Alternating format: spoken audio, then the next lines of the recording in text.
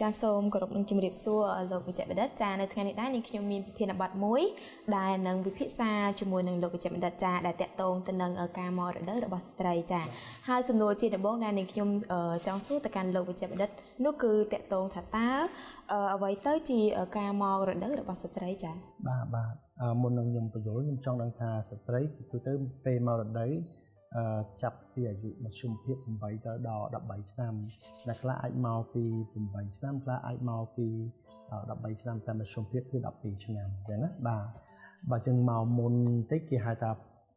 precocious puberty ពេញវ័យមុនអញ្ចឹងណាបាទហើយមនុស្សយើងនារីពេលគាត់ចាប់ដើមពេញវ័យដោយសារនៅក្នុងខួរក្បាលយើងមានគេហៅថាខួរក្បាលមួយចំណែកគេហៅ hypothalamus hypothalamus ហ្នឹងគឺគាត់នឹង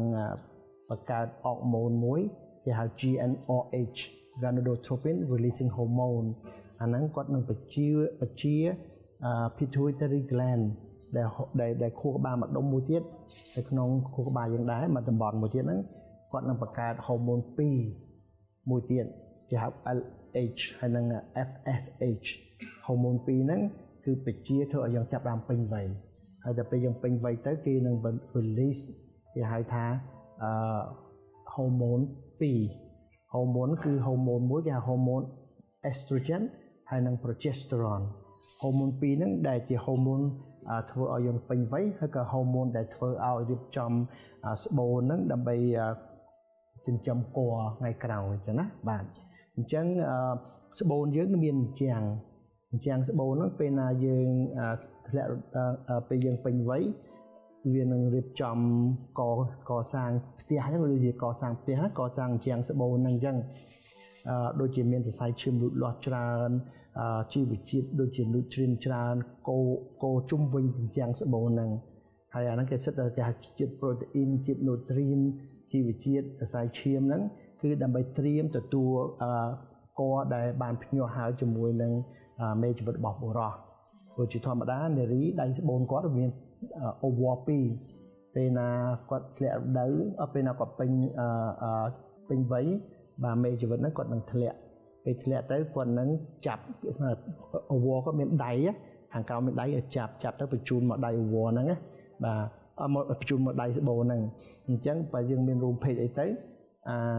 ពងហ្នឹងនឹងចាប់ផ្ដើមភ្ញាស់ជាមួយគ្នាហើយនឹងហែមកវិញដើម្បី មកបង្កើតផ្ទះបញ្ជាប់នឹងជាងស្បូនហ្នឹងហើយចាប់ដើមមានផ្ទៃពោះអញ្ចឹងណាបាទអញ្ចឹងបើសិនជាយើងអត់មានផ្ទៃពោះទេអញ្ចឹងចិញ្ចាំងហ្នឹងនឹងចាប់ផ្ដើមអឺលបើកចេញវិញលបើកចេញវិញគឺលបកពេលលបកលបើកហ្នឹងគឺថាសាច់ដុំនឹងធាក់ទាញអញ្ចឹងធ្វើឲ្យសរសៃឈាមហ្នឹងវាលបោចេញមកអញ្ចឹងវាធ្លាក់ចេញអាអញ្ចាំងនឹងមក តែកកើតដោយសារសិតតែជីវជាតិសរសៃឈាមប្រូតេអ៊ីននូទ្រីនទាំងអស់ហ្នឹងអញ្ចឹងអាហ្នឹងគេហៅថារដូវបាទជាឈាមដែលថាកោះចេញពីជញ្ជាំងបាទអញ្ចឹងនារីជាធម្មតាពេលគាត់ចាប់ដើមពេញវ័យពេលគាត់មកថ្ងៃខែជា2ឆ្នាំដំបូងគាត់មកអត់សូវទៀងទាត់ទេបាទហើយជាទូទៅអាថ្ងៃខែកោះលៀងកោះចិញ្ចាំងឈាមហ្នឹងណាបាទកោះចិញ្ចាំងឈាមហ្នឹងគឺថាអ្នកខ្លះទៅ2ថ្ងៃ គឺអស់ហើយអ្នកខ្លះទៅដល់7ថ្ងៃអស់ប៉ុន្តែមធ្យមភាពគឺ5ទៅដល់7ថ្ងៃមធ្យមភាពណាគឺនឹងលាបអស់ហើយនារីគេថាពេលហ្នឹងនារីគឺមហាអនាម័យស្អាតបំផុតពេលណាថ្ងៃខែហើយក្នុងជីវិតនារីក្នុងមួយខែមួយខែនារីដែលពេលអនាម័យជាងគេបំផុតគឺពេលបន្ទាប់ពីថ្ងៃខែហើយអញ្ចឹងណាបាទពេលគាត់មានរដូវជាទូទៅក្នុងពេលមុនប្រហែលថ្ងៃមានរដូវតបមានរដូវមកមុនមួយថ្ងៃភាគច្រើននារីតែងតែមានអារម្មណ៍ប្រែប្រួល អារម្មណ៍ជួនកាលទៅស្មុគស្មាញអារម្មណ៍មួម៉ៅអារម្មណ៍អត់សូវលះអត់សូវស្រឡះមុខមាត់អញ្ចឹងណាបាទអញ្ចឹងគេតែងតែឲ្យនារីថាឯងថ្ងៃនេះប្រហែលមកថ្ងៃខែហ្នឹងបានចេះតែមិនសប្បាយចិត្តអញ្ចឹងជាទូទៅគេឲ្យយើងយល់គ្នាណាពីអារម្មណ៍របស់នារីពេលមកថ្ងៃខែហើយ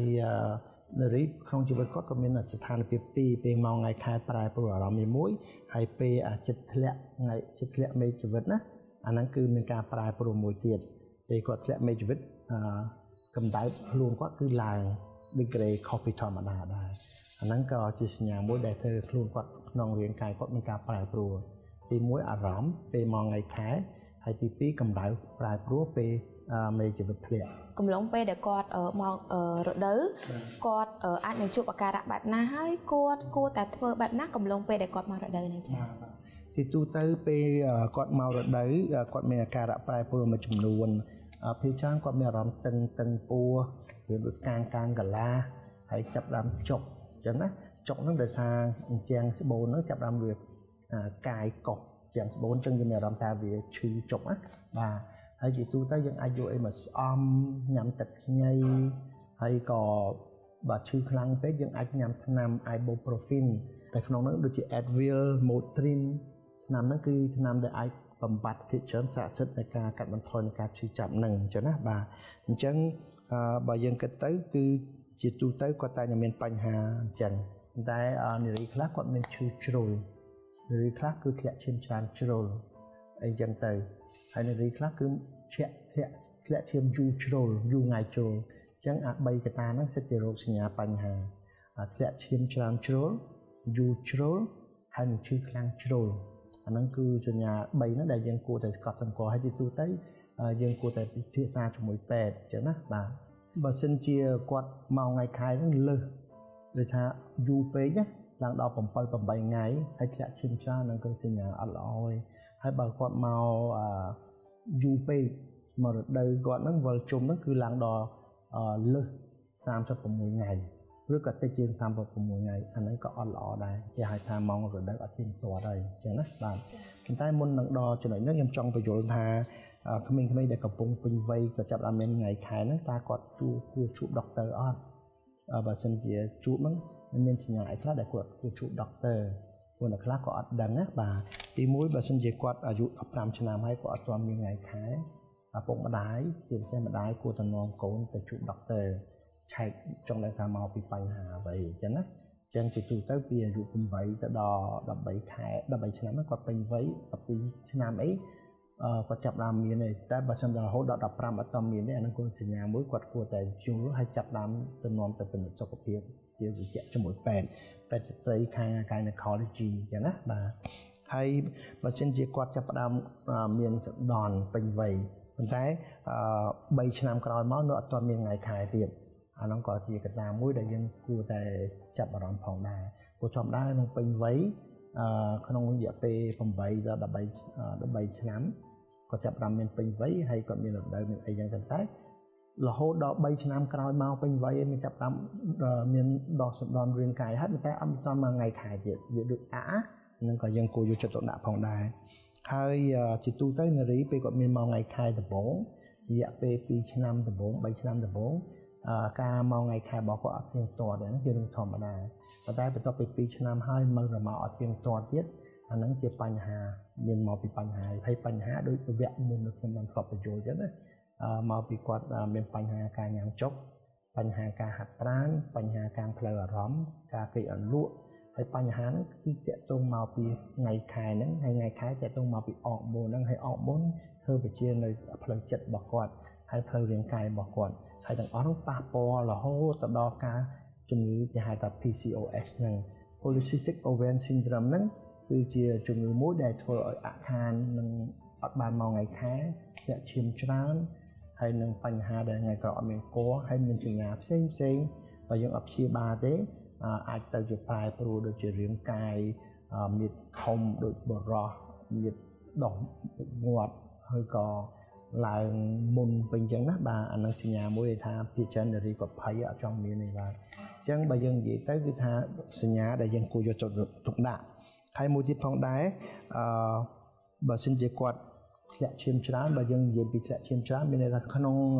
រាល់2ម៉ោងគាត់ត្រូវការដូរស្លៃអនាម័យម្ដងមានន័យថាគាត់ឈាមច្រើនហើយអានោះក៏ជាចំណុចមួយដែលថាយើងគួរព្រួយបារម្ភដែរចុះហើយវិញយើងគួរព្រួយបារម្ភពេលដែលឈាមច្រើនពេកនារីបាត់ឈាមតែបាត់ឈាមគាត់ខ្សោយ ព្រោះនារីហងៃគាត់ភាគភាគច្រើននៅអាស៊ីយើងគាត់មានជំងឺមួយគេហៅថា beta thalassemia ជំងឺពូដែលធ្វើឲ្យគាត់ខ្វះមេឈាមហើយបើគាត់បាត់ឈាមច្រើនធ្វើគាត់ខ្សោយវិលមុខអាចស្លាប់អីចឹងទៅហើយខ្វះឈាមនោះដោយសារខ្វះជាតិដែកអញ្ចឹងមកយើងខ្វះជាតិដែកហ្នឹងបើយើងតែងតែឲ្យនារីគាត់តែតែងតែជួបពេទ្យហើយធ្វើតេស្តតើចង់ដឹងអាមេឈាមរបស់គាត់គេហៅ hemoglobin ហ្នឹងមេឈាមរបស់គាត់មានប្រមាណមកជុំភាគទូទៅលើលោកនេះប្រហែល12 12កន្លះ តែតែអាស៊ីយើងនៅតំបន់អាស៊ីយើងជាទូទៅប្រហែលជា10កន្លះមិនដល់10អីទេចឹងគឺឃើញតែកើតអាសាវិលមកអាសាចង់ខ្យល់គោងើបឈោមកសវាំងភ្នែកអីចឹងណាមកវាខ្វះជាតិដែកអញ្ចឹងគេតែងតែឲ្យនារីញ៉ាំជាតិដែកកតាទី1វាជាពូជផងទី2នារីតែងតែបាត់ឈាមពេញរាល់ខែបាត់មករដូវហ្នឹងអញ្ចឹងធ្វើឲ្យគាត់ខ្វះជាតិដែកខ្វះមេឈាមហ្នឹងអញ្ចឹងណាបាទអញ្ចឹងបើមិនជាគាត់ធ្លាក់ឈាមច្រើនពេកមានន័យថារ2ម៉ោងម្ដងគាត់ទៅដូរម្ដងអាហ្នឹងជាកត្តាមួយដែលយើងគួរយកចិត្តទុកដាក់ផងដែរបាទហើយបើមិនជាពេលពេលគាត់មករដូវហ្នឹងគាត់ឈឺខ្លាំងបាទឈឺខ្លាំងហើយមានអារម្មណ៍មូម៉ៅច្រើនខ្លាំង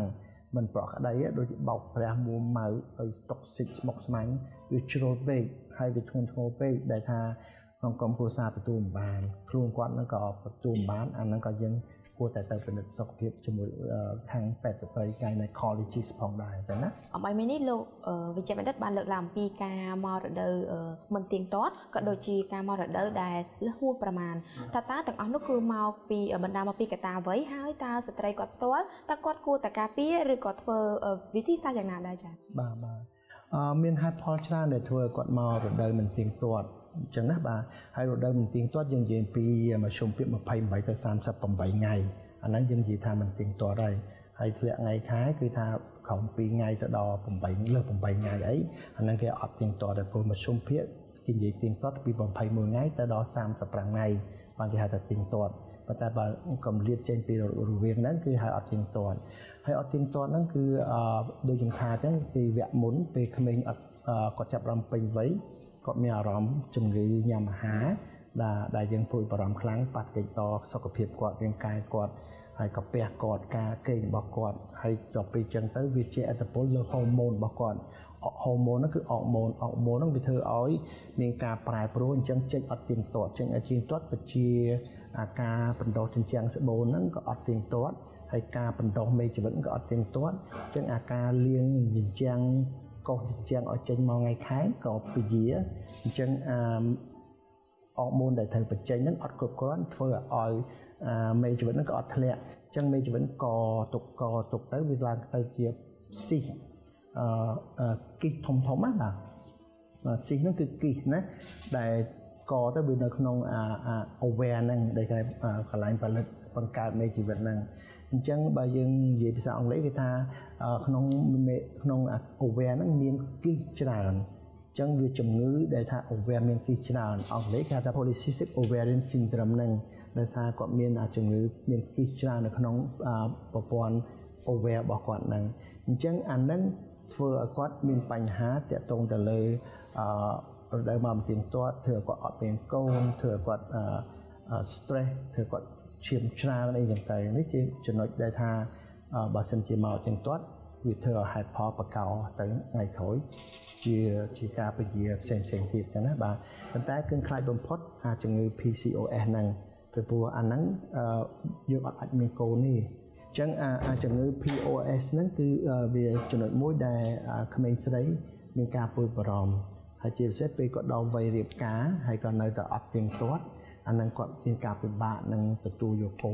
ដូច្នេះហើយអ្នកខ្លះទៅគាត់រៀបការ4 5ឆ្នាំហើយក៏គាត់អត់ដឹងនៅតែអត់មានកអញ្ចឹងអញ្ចឹងក៏ទៅការពិនិត្យសុខភាពជាមួយដុកទ័រខាង gynecology គេអាចដឹងចឹងណាបាទអញ្ចឹងបើសិនជាដឹងគេត្រូវធ្វើម៉េចដើម្បីព្យាបាលជំងឺនឹងឲ្យបានដើម្បីឲ្យគាត់ទទួលថ្ងៃខែមកទៀងទាត់អីចឹងទៅហើយដើម្បីឲ្យគាត់ធ្លាក់អាព្យាបាលទីនឹងឲ្យចេញអស់ទៅដើម្បីទទួលមានកឡើងវិញហើយត្រៀមចិញ្ចាំងស្បូនឡើងវិញ ហើយឲ្យមកថ្ងៃខែទៀងទាត់ទីទូទៅដុកទ័រតែងតែឲ្យថ្នាំគេហៅថ្នាំការពារថ្នាំហូម៉ូនហើយថ្នាំហូម៉ូននេះជាទូទៅគេហៅ Primarin ហើយនារីទូទៅគាត់ដឹងឲ្យថ្នាំហ្នឹងណាជាងលេបហើយជាធម្មតាគេដុកទ័រតែងឲ្យក្នុងរយៈពេលថ្ងៃទី1យើងមកថ្ងៃខែរហូតដល់ថ្ងៃទី12អញ្ចឹងគេឲ្យយើងញ៉ាំថ្នាំហ្នឹងឯងហើយបាទញ៉ាំ15ថ្ងៃជាប់គ្នាអញ្ចឹងយើងឈប់15ថ្ងៃញ៉ាំ15ថ្ងៃទៀតយើងឈប់15ថ្ងៃទៀត ញ៉ាំរហូតដល់អស់3ខែយើងនិយាយទៅចាំមើលបន្ទាប់ពី3ខែយើងឈប់ហើយជាធម្មតាបើយើងញ៉ាំចឹងអានេះគេហៅយើងចាប់ដាំ regulate វាឡើងវិញអញ្ចឹងថ្ងៃខែមិនចាប់ដាំមកជាងតរបើអត់ទេយើងញ៉ាំបន្តទៀតអញ្ចឹងយើងចាប់ដាំរាប់ពីថ្ងៃទី12អញ្ចឹងថ្ងៃទី1ធ្លាក់ថ្ងៃខែថ្ងៃទី1ហើយធ្លាក់អស់4ទៅ5ថ្ងៃអស់ហើយយើងនៅរាប់បន្តទៀតថ្ងៃទី10ប្រាក់លើថាថ្ងៃទី1យើងចាប់តាមថ្ងៃខែទី2ទី3ទី4ទី5យើងថាអស់ ទី6ទី7ទី8ទី9រហូតដល់12យើងញ៉ាំថ្នាំអកមកហ្នឹងហើយហើយញ៉ាំ15ថ្ងៃរាប់ពី12ទៅ15ថ្ងៃហើយយើងឈប់15ថ្ងៃហើយយើងញ៉ាំ15ថ្ងៃទៀតយើងឈប់15ថ្ងៃទៀត3ខែទៀតនិយាយទូទៅហូម៉ូនហ្នឹងវាចាប់តាម regulate ឡើងវិញជាធម្មតាដល់ពេលឡើងវិញធម្មតាជាទូទៅគឺ28ថ្ងៃហើយគាត់មកទៀងទាត់វិញចឹងណាប៉ុន្តែអ្នកខ្លះគាត់អត់ដឹងទេគាត់ដឹងគាត់ទៅពេទ្យ ចឹងគាត់មានអត់ដែរខ្វល់ទេឡើយរវល់រស់ស៊ីផងធ្វើការផងមើលកូនផងគាត់នៅតែប្រឈមបញ្ហាហ្នឹងដល់ពេលថ្ងៃណាគាត់ទៅមើលពេទ្យទៅគេបញ្យល់ឲ្យថ្នាំទៅគាត់ដើរហើយគេឲ្យថ្នាំវីតាមីនមួយទៀត flaxseed oil ដែលជួយ stimulate អាហូម៉ូនយើងឲ្យដើរស្រួលហ្នឹងជាមួយនឹងថ្នាំហូម៉ូនដែលយើងផឹកហ្នឹងគេតែទៅឲ្យវីតាមីនហ្នឹងជាមួយគ្នាអញ្ចឹងណាគេហៅ flaxseed oil ដើម្បីជួយជំរុញហូម៉ូនឲ្យដើរស្រួល ចាចុះសម្រាប់ស្ត្រីដែលគាត់មានការមករដូវមុនថ្ងៃអាចនឹង4ឬក៏5ថ្ងៃឬក៏1សប្តាហ៍មុនតើនោះគឺជាវាមានវាមានផលប៉ះពាល់ដែរឬទេលោកវិជ្ជបណ្ឌិតបើសិនជាគាត់មកមុនអាហ្នឹងមានន័យថាវាអត់ទៀងទាត់ទេវាជាប់កតាអត់ទៀងទាត់ទេព្រោះជាទូទៅនារីថ្ងៃខែរបស់គាត់ខុសៗគ្នាប៉ុន្តែបើចំពោះបុគ្គលណាមួយគាត់មកថ្ងៃណា អត់សូវខុសគ្នាក្នុងវិញ្ញាណហ្នឹងឯងបើមួយខែមករដូវគាត់គេមកជុំរបស់គាត់ពីថ្ងៃជាមួយដល់ថ្ងៃចុងក្រោយណាអាហ្នឹងគេហៅមកម្ករដូវហើយជាធម្មតាបើយើងថ្ងៃទី1រាប់ទៅដល់ថ្ងៃទី28គាត់មកម្ដងទៀតអាហ្នឹងមកជុំរបស់គាត់ហើយអញ្ចឹងរាល់ជុំហ្នឹងគឺវាត្រូវទៀងទាត់អញ្ចឹងអញ្ចឹងបើសិនថ្ងៃណាមួយអក់ខាន់មកពជាអាហ្នឹងវាមកពីស្អីទៅណាយើងឆែកជាមួយវិជ្ជបណ្ឌិតទៀតប៉ុន្តែដល់ពជាបាត់មួយខែពីរខែ អានេះយើងសង្ស័យជួនកាលមកពីបញ្ហា polycystic ជួនកាលមកពីបញ្ហាអារម្មណ៍យើង mood swing យើងអខាននៃការអឺបញ្ចេញអុកម៉ូនហ្នឹងឬក៏ការបញ្ចេញមេជីវិតហ្នឹងឬក៏មកពីអារម្មណ៍ stress អីផ្សេងផ្សេងទៀតអញ្ចឹងយើងរងចាំមើលប៉ុន្តែជួនកាលបើយើងមានការរួមភេកឬការថ្មីថ្មោងយើងអាចសង្ស័យថាយើងអាចមានផ្ទៃពោះហើយអញ្ចឹងណាបាទហើយនារីមានផ្ទៃពោះ មិនចាំតែធ្លាក់ថ្ងៃខែបើមានទេនារីខ្លះគឺពេញវ័យមិនដែលតន់ធ្លាក់ថ្ងៃខែក៏មានផ្ទៃពោះដែរគឺថាឥឡូវក្មេងយូរត្រឹមតែ10ឆ្នាំគាត់មានថ្ងៃមានគាត់អត់តមានរដូវតែគាត់ពេញវ័យហើយតែពេញវ័យគឺអាអរម៉ូនពី estrogen និង progesterone ហ្នឹងដែលថាត្រៀបចំចិញ្ចាំងស្បូនគាត់ឲ្យត្រៀមដើម្បីទទួលមេជីវិតហ្នឹងគាត់បានធ្វើហើយហើយមេជីវិតបានធ្លាក់មកហើយដល់ពេលគាត់ចែកដនគេរំលោភឬក៏មានគ្រួមានគ្រួសារ អញ្ចឹងអីទៅឧទាហរណ៍ណាអញ្ចឹងគាត់អាចមានកហើយអត់ដែលមានរដូវសោះអញ្ចឹងណាបាទអញ្ចឹងអ្នកខ្លះឆ្ងល់ថាហេតុអ្វីក្មេងមិនដែលមានរដូវមានកបាទដោយសារអញ្ចឹង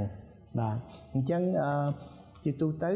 ពេលណាគាត់មករដូវទៀងទាត់យើងអាចដឹងហើយដោយសារប្រចាំខែគាត់កត់ទុកក្នុងគាត់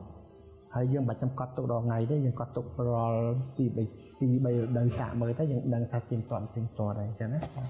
ចាហើយសម្រាប់កំឡុងពេលដែលស្ត្រីមករដូវចំពោះតកតងទៅនឹងការថែទាំសុខភាពផ្ទាល់ខ្លួនរបស់គាត់វិញថាតើគាត់គួរសម្អាតខ្លួនក៏ដូចជាថែទាំសុខភាពរបស់គាត់ទាំងការញ៉ាំចុកទាំងអនាម័យផ្ទាល់ខ្លួនហ្នឹងយ៉ាងដូចម្ដេចខ្លះចាលោកចាអឺអាហ្នឹងជាពោះនារីទូទៅមិនថាមករដូវមកដែរអាហ្នឹងជាទូទៅយើងត្រូវតែថែទាំខ្លួនញ៉ាំចុកឲ្យស្រួលបួពេញជីវជាតិបាទហើយគេលក់ឲ្យស្ងប់ ចឹងណាបាទហើយជាទូទៅវានិយាយញ៉ាំចុកគ្រប់ជីវជាតិហ្នឹងគឺមហូប4 4ក្រុមនេះមកសានិយាយហ្នឹងមានជាតិសាច់ទៅដោះគោឲ្យមានជាតិសាច់ទៅដោះគោមានជាតិបាយអង្គសាលី មានជាតិបន្លែផ្លែឈើហើយមានជាតិគេហៅថាអឺអង្គអីចឹងណាហ្នឹងហើយជាតិទាំង4មុខហ្នឹងគឺគេហៅថា for food group បើយើងញ៉ាំមកទៀងទាត់មួយថ្ងៃបាន3ពេលហើយហាត់ប្រាណ ជាពិសេសហាត់ប្រាណហើយហាត់ប្រាណមិនមែនយើងហាត់ប្រាណរហូតដល់យើងស្គមស្លេកស្លាំងហើយហួសបរិមាណខូចសាច់ដុំអីចឹងទេហាត់ប្រាណយើងមានអារម្មណ៍ថាមួយថ្ងៃអឺយើងហាត់អាចទៅ30ទៅ40នាទីមួយទឹក3ដងអីត្រឹមតែរត់ធម្មតាដើរធម្មតាអញ្ចឹងអាហ្នឹងគឺហៅពេញលក្ខណៈហើយហាត់ផារ៉ានជ្រុលគឺធ្វើទុកដល់ខ្លួនឯងវិញទេតែហាត់ផាតាមស្តង់ដាគេ យើងដើររាល់ថ្ងៃឡើងកម្មចរារាល់ថ្ងៃឬក៏យើងរត់រាល់3ថ្ងៃម្ដងម្ដង30ទៅ40នាទីអាហ្នឹងគឺល្អបំផុតជួយសុខភាពយើងវិញអញ្ចឹងណាបាទចាតកតងទៅនឹងមួយវិញទៀតដែរនៅកំឡុងពេលដែលយើងស្ត្រីមករដូវតើអាហារបែបណាដែលគាត់គួរតែជៀសវាងចាបាទអអឺ ដូចជាគេមិនសូវបាននិយាយអំពីអាហារជិះវាមជិះវាមប្រមាណទេព្រោះអានោះវាអត់ប៉ះតិចអីទេបាទញឹមញ៉ាំអីជាជាធម្មតាវាអត់ដែរប៉ះកិច្ចប៉ុន្តែហេតុផលដែលធ្វើអត់មករដូវទៀងទាត់ហ្នឹងគឺយើងអាចសន្មតថាមកពីជួនកាលគាត់ប្រើប្រព័ន្ធការពារគេហៅថា IUD ណា intrauterine device ហ្នឹងគាត់ពាក់ដៃការពារគេហៅ copper អញ្ចឹងធ្វើរដូវក៏អត់ទៀងទាត់ទេហើយក៏អត់មានកបានដែរព្រោះយើងពាក់ដៃហ្នឹងទៅ គេតេអសតេពាក់ដៃទៅដូចវាកោះអញ្ចឹងស្បូនរហូតអត់ឲ្យកកសាងអញ្ចឹងបានទេអញ្ចឹងដូចវាខ្ទាស់អញ្ចឹងស្បូនអញ្ចឹងធ្វើឲ្យអញ្ចឹងស្បូនអត់ឲ្យកបានអញ្ចឹងណាបានអញ្ចឹងអាហ្នឹងមួយហើយទី2គាត់អាចញ៉ាំគាត់អាចដូរប្រែប្រួលថ្នាំមកអោបមុនគាត់ញ៉ាំការពារហ្នឹងគាត់អាចដូរចឹងដូរទៅជួនកាលវាប្រតិកម្មខុសឆ្នាំក៏អាចមកថ្ងៃខែអត់ទៀងទាត់ដែរអឺជួនកាលទៅគាត់ហាត់ប្រាណជ្រុល ហើយគាត់មានវិបត្តិផ្លូវចិត្តជ្រុលក៏ធ្វើឲ្យបញ្ហាថ្ងៃខែក៏អត់មកទៀងទាត់ហើយចំណុចមួយសំខាន់ដែលខ្ញុំនិយាយមួយគឺ PCOS ហ្នឹង polycystic ovarian cyst ហ្នឹងដែលថា syndrome PO PCOS polycystic ovarian syndrome ហ្នឹងដែលថាធ្វើឲ្យមកថ្ងៃខែអត់ទៀងទាត់ដែរប៉ុន្តែសំខាន់មួយទៀតដែលគេតែងយកចិត្តទុកដាក់គឺ PID PID គឺ pelvic inflammatory disease មានន័យថាប្រព័ន្ធជំវិញផ្លូវភេទរបស់គាត់មានរលាកអញ្ចឹងប៉ះតកិច្ចទៅដល់ម៉ោងថ្ងៃខែអទៀងទាត់បាទអាហ្នឹងគឺតែជាព្យាបាលដោយសារស្នាមសាសអីចឹងទៅហើយនឹងគឺយើងយកចិត្តទុកដាក់ព្រោះហ្នឹងវាប៉ះតកិច្ចទៅដល់ផ្លូវភេទរបស់គាត់ដែរអញ្ចឹងណាបាទអឺជំងឺដែលប៉ះទកិច្ចផងដែរគឺតកតងពីហូម៉ូននៅតៃរ៉យយើងនេះនៅពងកយើងគេហៅថាមានតៃរ៉យហើយនិងប៉ារ៉ាតៃរ៉យវាទូចអត់ដឹងទេ ហើយបាក់តៃរ៉យគឺគេថាពុកពុកដុំកហ្នឹងហើយកពេងដុំកហ្នឹងហើយក្នុងកពេងដុំកមានកពេងទូចមួយទៀតគេហៅប៉ារ៉ាតៃរ៉យអញ្ចឹងពីរហ្នឹងគឺបង្កើតហូម៉ូនគេហៅថា TSH ហ្នឹងហើយជួនកាលបើយើងមាន hyperthyroidism មានតែចេញអុកមុនច្រើនពេកឬក៏ hypothyroidism ចេញអុកមុនតិចពេកក៏ប៉ះទង្គិចនឹងការ regulate អុកមុនយើង ក៏ប៉ះទង្គិចនឹងម៉ោងថ្ងៃខែអត់ទៀងទាត់ដែរអញ្ចឹងពេលគេឆែកនារីដែលអមម៉ោងថ្ងៃខែទៀងទាត់ហ្នឹងគេតែតែឆែកពីរហ្នឹងតែជាពិសេសបាននារីដែលមានជំងឺ PCOS ហ្នឹងវាភាគច្រើនមកពីហូម៉ូនហ្នឹងឬក៏មកពីអាអាហូម៉ូនពងកហ្នឹងវាអត់អត់គ្រប់គ្រាន់លើសឬក៏ខ្វះចឹងណាបានហើយអឺ បើយើងអាចកត់សម្គាល់មួយទៀតផងដែរជួនកាលយើងអាចមានតែគេហៅ uterine fibroid និយាយថាវាដុសដុសសាច់ដូចស្វាមស្វាមនៅជាប់ជញ្ជាំងស្បូននៅក្រៅស្បូននោះហ្នឹងអាហ្នឹងធ្វើឲ្យយើងធ្លាក់ឈាមញឹកញាប់ឈាមមកអត់ទៀងទាត់ថ្ងៃខែមកទៀងទាត់ក៏អាហ្នឹងក៏ក៏យើងមិនអាចមានកដែរហើយក៏ធ្វើទៅអត់ទៀងទាត់ដែរអញ្ចឹងនៅស្រុកអាមេរិកនៅស្រុកខ្មែរសម្បូរមានដែរហើយនារីភាគច្រើនអត់មានគាត់ពេលរៀបការហើយដោយសារហ្នឹង ដល់ពេលយើងទៅពេទ្យទៅគេខាង gynecologist គេកោសចេញទៅគេកោសចេញស្អាតទៅអាហ្នឹងយើងអាចមានថ្ងៃខែទៀងទាត់អាចជាងស្បូននឹងបណ្ដោះឡើងស្រួលបួរនឹងគេអាចមានកឡើងវិញមានមកថ្ងៃខែទៀងទាត់មកវិញបាទអាហ្នឹងគេហៅថាអឺ uterine fibroid អញ្ចឹងណាបាទការដុសសាច់នៅជញ្ជាំងស្បូនហ្នឹងតែមិនមែនជា cancer ទេបាទហើយជួនកាលពីទៅគាត់ថាជាងស្បូនគាត់មានសាឡា ដូចថាគាត់វះកាត់អីច្រើនដងទៅមានសាឡាអញ្ចឹងវាជាប់គ្នាអញ្ចឹងទៅអានឹងក៏ប៉ះទៅកិច្ចដែរហើយប៉ុន្តែមានជំងឺមួយទៀតដែលថាគាត់ហៅថា premature ovarian failure មានថាគាត់មានជំងឺមួយដែលថាគាត់ឈប់មានថ្ងៃខែហ្មងគឺថ្ងៃខែគាត់ឈប់មកទៀងទាត់ទៀងទាត់គាត់ឈប់ហ្មងក្រោមអាយុ40បាទអាហ្នឹងក៏ធ្លាប់មានកើតឡើងមកដែរអញ្ចឹងកត្តាដែលធ្វើឲ្យថ្ងៃខែមកមិនទៀងទាត់ឈាមមិនធាក់ច្រើនធាក់តិចហ្នឹង គឺមកពី4 10ចំណុចហ្នឹងឯងអញ្ចឹងណាបាទអាចនិយាយថាមកពីរលាកប្រព័ន្ធផ្លូវភេទរបស់គាត់ហ្នឹងអាចមកពីប្រើប្រាស់ប្រព័ន្ធការពារអាចមកពីដូរថ្នាំផឹកថ្នាំការពារ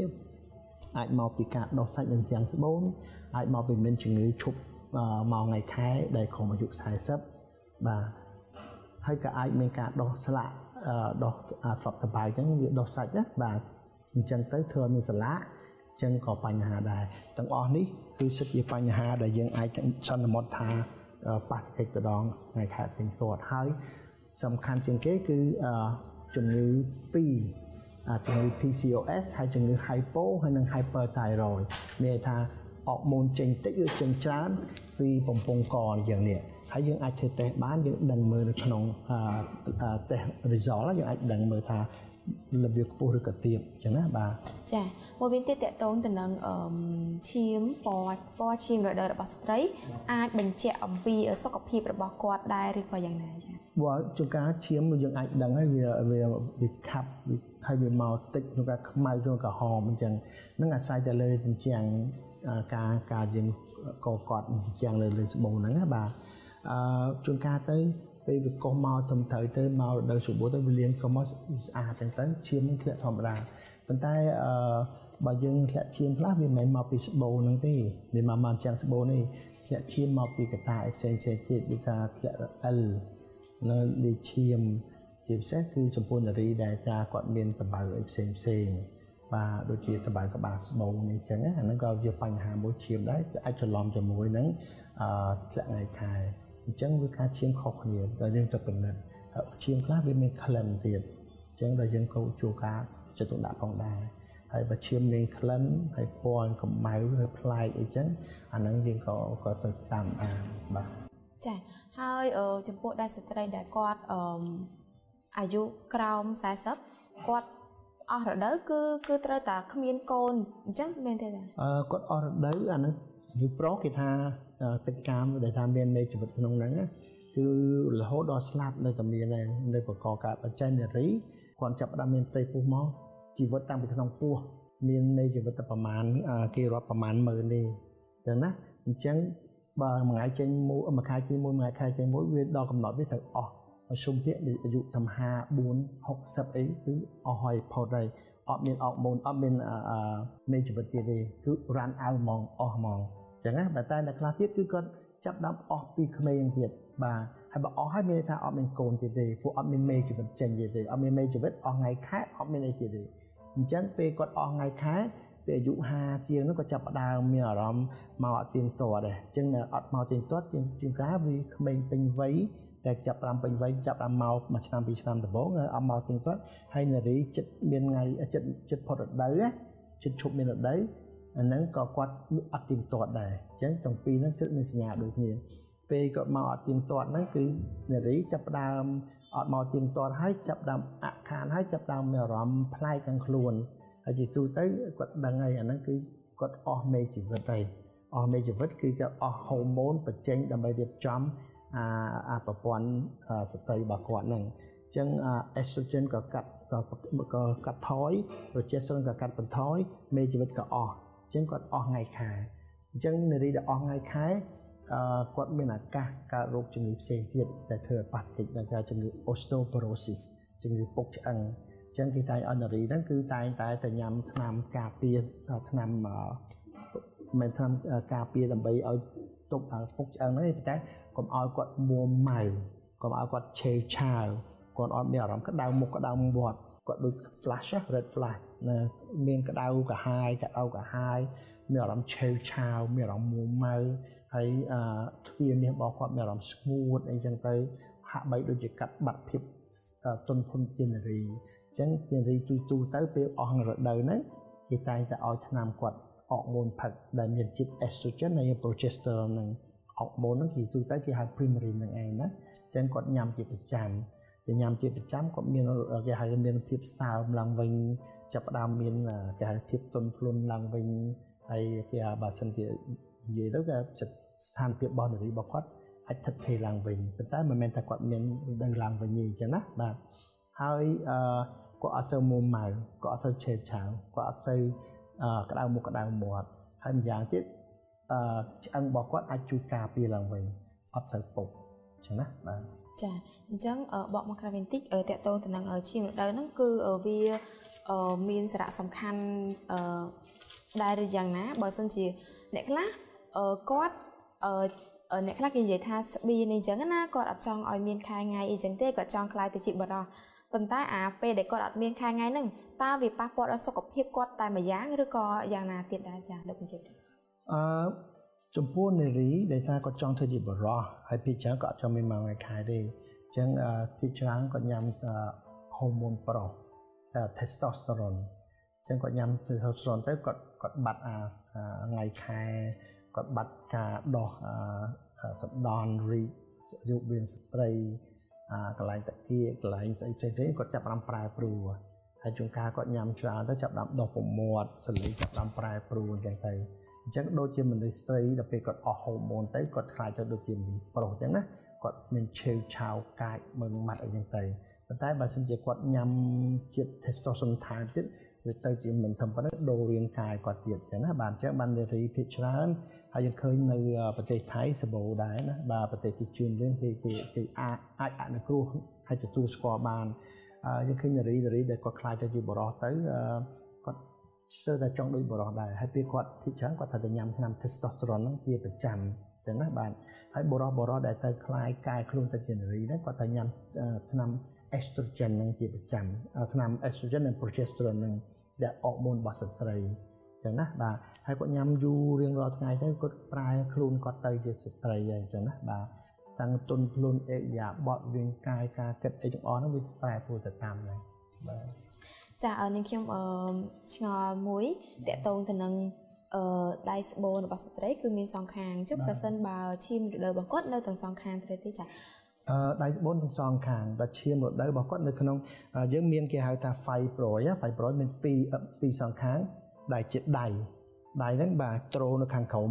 aware aware ពីលើអញ្ចឹង aware គឺជាមេជាមេកន្លែងបង្កើតមេជីវិតជាពងបង្កើតមេជីវិតអញ្ចឹងណាហើយបានមានពងពីរហ្នឹងហើយបានមានដៃស្បូនដៃស្បូនប៉ុន្តែមកជាប់តនឹងខ្លួនស្បូនខ្លួនស្បូនមិនមានក្នុងហ្នឹងមានប្រហោងមួយគេហៅថាក្នុងហ្នឹងគឺ មកសងខាងគឺចិញ្ចាំងស្បូនអញ្ចឹងវាទប់ចេះមកហើយអញ្ចឹងខ្លួនពីរទប់ចេះមកចិញ្ចាំងស្បូនហើយដៃស្បូនហើយចុងដៃស្បូនមាននៃបង្កើតជីវិតរបស់ស្ត្រីហ្នឹងគេហៅ aware ហើយខាងក្រោមហ្នឹងមាន fibroid ហ្នឹងណាដែលថាចាំចាប់មកយកពងហ្នឹងបញ្ជូនតាមដៃស្ពងហ្នឹង ចឹងណាបាទចាំបើក្នុងករណីដែលគាត់ធ្វើមានប៉ះពាល់ដល់សុខភាពហើយគាត់ធ្វើការកាត់ដៃស្បូនមួយចំហៀងតើឈាមរដូវរបស់គាត់មានផលប៉ះពាល់ដែរឬក៏យ៉ាងណាអត់ទេព្រោះគាត់ឈាមរដូវអត់ពាក់ព័ន្ធនឹងការដៃស្បូនអីទេឈាមរដូវពាក់ព័ន្ធនឹងអរម៉ូនហើយអរម៉ូននៅដំណើរការហើយមានជីវិតនៅមានព្រោះជាគាត់សើនៅសអវមកទៀតមកខ្ញុំថា over គឺចេះអា fibroid ដែរគឺចេះតាមពិត over នឹងចេះហៅថា fiber over ចេះ fibroid ចេះពេលការគាត់ធ្លាក់ពង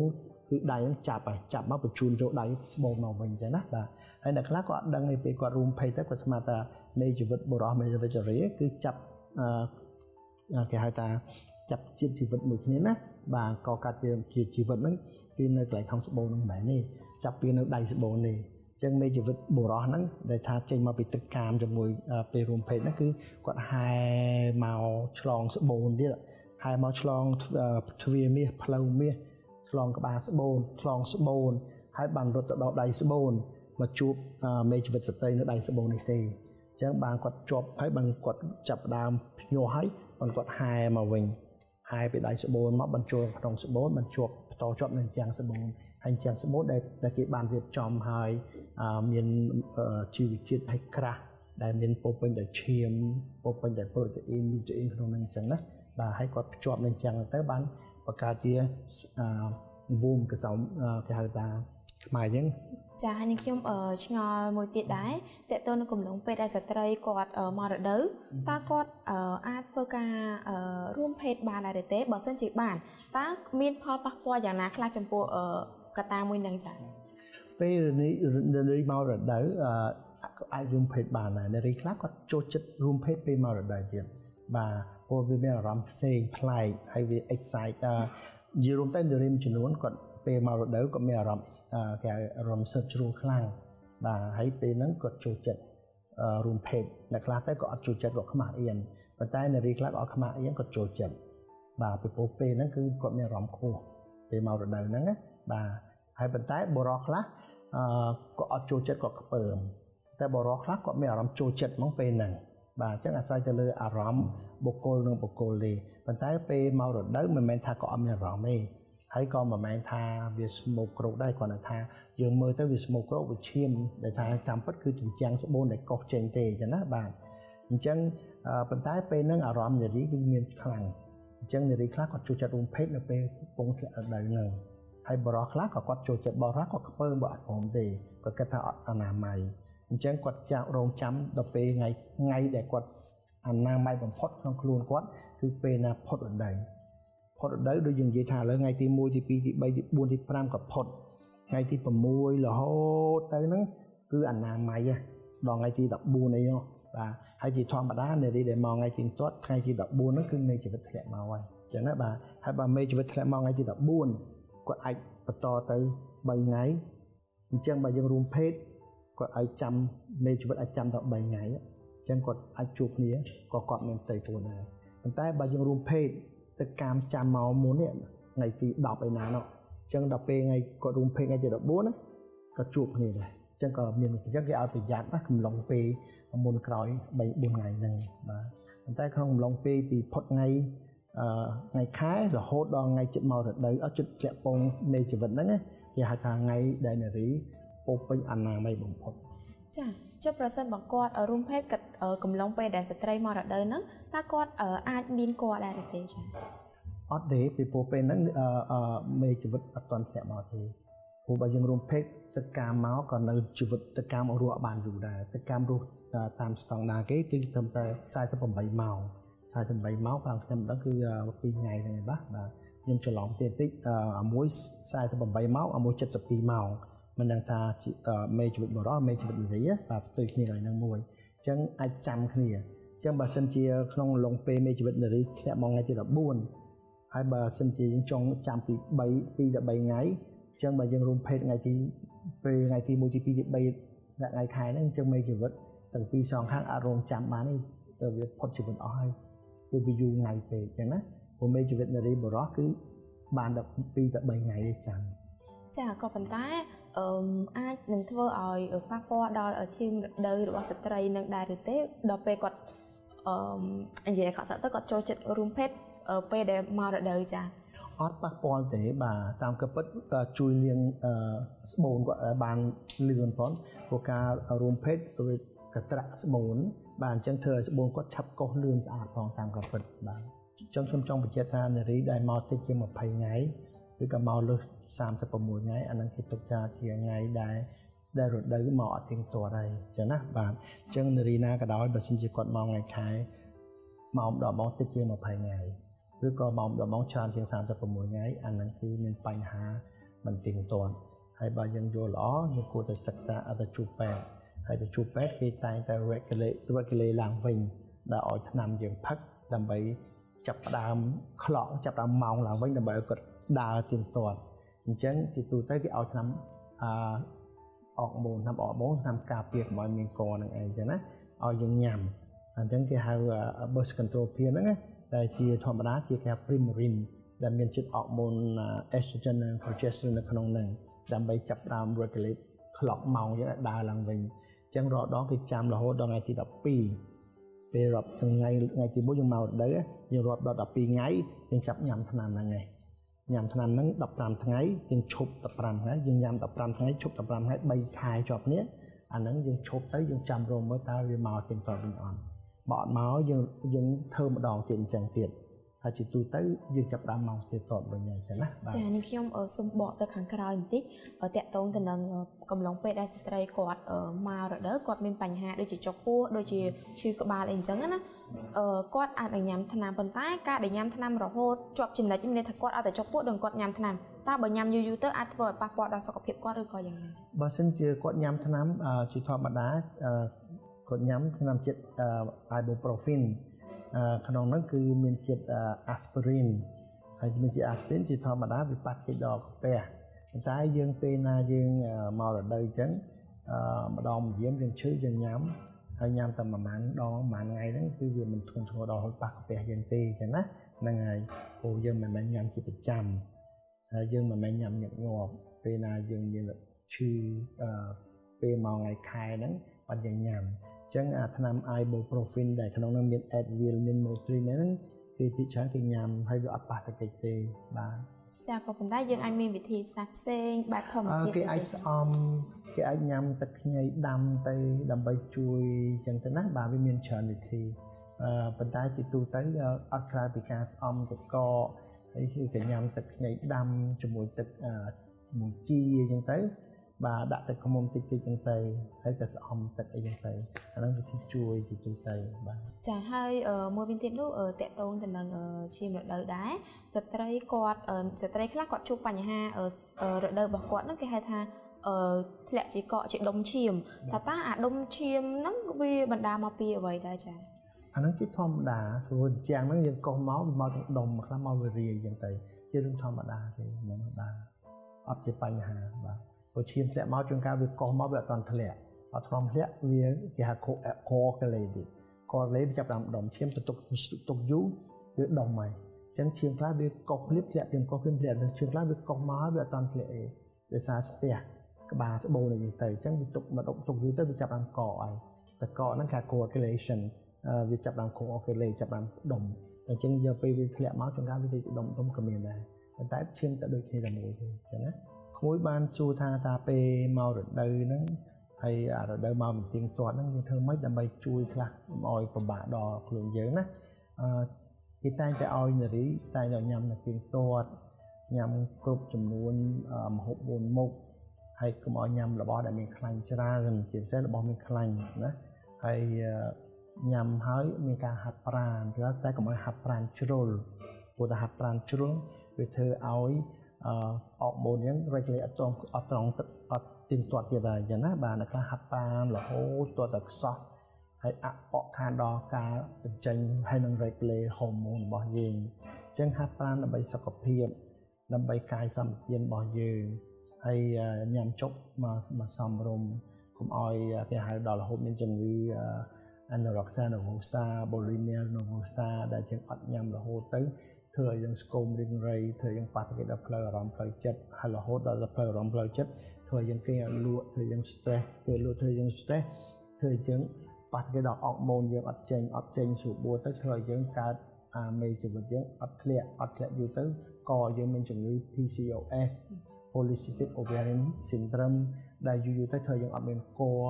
ហើយធ្វើថ្ងៃខែអត់ធ្លាក់ធ្វើអត់ទៀងទាត់ហើយធ្លាក់ច្រើនចឹងណាបាទហើយចំពោះថ្ងៃខែដែលថាធ្លាក់ មិនធ្លាក់ខុសប្រក់ក្តីគឺច្រើនជាង7ថ្ងៃអានេះគេហៅជាច្រើនជាង7ឬ8ថ្ងៃអានេះគេហៅថាមិនប្រក់ក្តីហើយវាជាធម្មតាគឺប្រហែល3ទៅ5ថ្ងៃអញ្ចឹងណា3ទៅ5ថ្ងៃអស់ហើយតែ7ថ្ងៃបើលើស7ថ្ងៃជុំ8ថ្ងៃជាធម្មតាគឺច្រើនជ្រុលអញ្ចឹងណាចំពោះស្ត្រីជាទូទៅគឺតែងតែឲ្យគាត់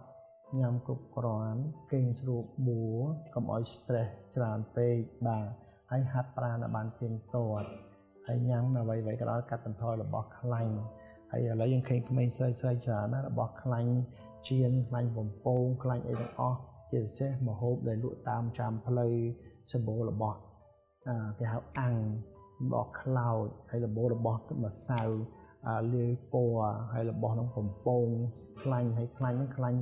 trans fat ទៀតដែលខ្លាញ់មិនល្អចំពោះសុខភាពធ្វើឲ្យប៉ះទង្គិចដល់ហូម៉ូនអរម៉ូនរបស់គាត់ ធ្វើឲ្យគាត់ឡើងដល់ជាតិ cholesterol ខ្លាំងរហូតដល់ប៉ះទៅដល់បេះដូងធ្វើឲ្យគាត់មានទឹកនោមផ្អែមហើយធ្វើឲ្យគាត់នឹងមកថ្ងៃខែទៀងទាត់ទាំងអស់នេះគឺការញ៉ាំចុករបស់គាត់ហ្នឹងឯងហើយភាពខ្លាញ់នេះប៉ះទៅគេធ្ងន់ធ្ងរច្រើនជាពិសេសខ្លាញ់មិនល្អខ្លាញ់ប៉ះទៅដល់សុខភាពរបស់គាត់ហ្នឹងជាដែលយើងឆែកមើលទៅអាចរហូតដល់គាំងបេះដូងក៏ខ្លាញ់វាមានពីរប្រភេទអញ្ចឹងខ្លាញ់ក្នុងឈាមគេមើលពីរណាមួយ cholesterol ខ្លាញ់ក្នុងសរសៃឈាមអាមួយ triglyceride ខ្លាញ់ដែលថាអោបរុំបេះដូងអញ្ចឹងជាប្រយ័ត្នណាអាខ្លាញ់រុំបេះដូងហ្នឹងធ្វើឲ្យយើងកាត់ខាត់គេហៅថា heart attack ព្រោះធម្មតាសរសៃឈាមយើងវាសរសៃឈាមគឺឈាមហ្នឹងគឺមានអឺរត់ចេញចូលឈាម តែបើយើងញ៉ាំរបស់ខ្លាញ់ច្រើនអាខ្លាញ់វាកកក្នុងតយោឈាមហ្នឹងកកយូរយូរទៅវាបិទតយោឈាមជួយអត់ចឹងតយោឈាមតូចឡើងតូចឡើង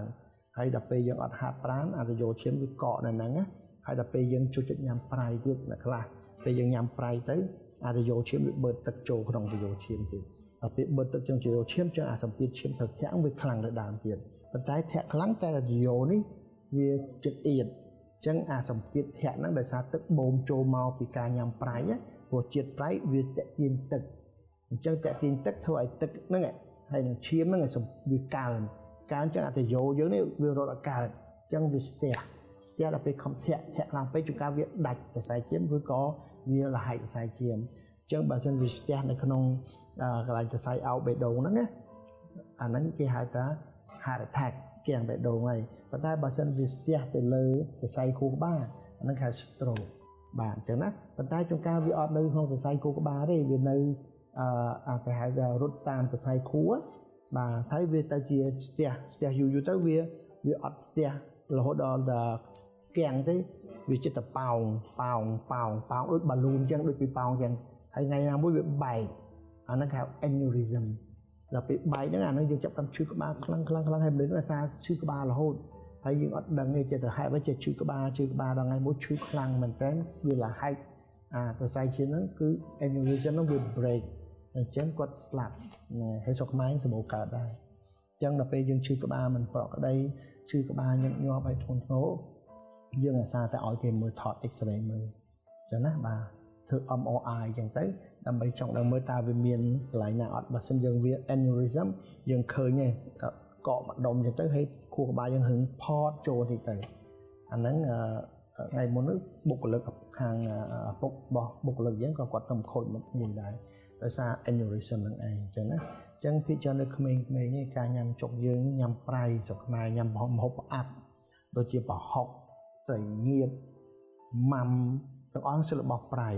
ហើយដល់ពេលយើងហូបរបស់ប្រៃចឹងឈាមទៅយោឈាមយើងវាបៀតចិត្តបៀតតែមានប្រៃក្នុងវាបឺតទឹកចូលហើយតែបឺតទឹកចូលអាសរសៃឈាមហ្នឹងធ្លាប់តែទឹករត់ធម្មតាឥឡូវទឹកវាណែនទឹកវាណែនទាំងវាធាក់អាអញ្ចឹងអាសម្ពាធធាក់ហ្នឹងវាខ្លាំង ចាំមកគេសម្ពាធឈាមឡើងណាមិនមែនឈាមឡើងទេអាសម្ពាធវាធាក់វាខ្លាំងប៉ុន្តែអាទៅយោយើងវាមានខ្លាញ់កកក្នុងហ្នឹងអាពីមុនវាកកដែរតែវាអត់មានឈាមច្រើនទេអាទឹកវាអត់សូវច្រើនទេអញ្ចឹងវាអាចរត់ទៅបង្ខំបានតែឥឡូវដល់យើងញ៉ាំប្រៃទៅវាបឺតជាតិទឹកចូលមកអញ្ចឹងវាធាក់អត់កើតវាធាក់ធាក់រហូតដល់តែលហែកអីក៏ស្ទះបដ ாய் អាហ្នឹងហើយបានគេយើងហៅថាឡើងឈាមអញ្ចឹងណាបាទហើយដល់គាំងកន្លែងណាមួយជាពិសេសគាំងនៅបេះដូងគេហៅថា heart attack ហ្នឹង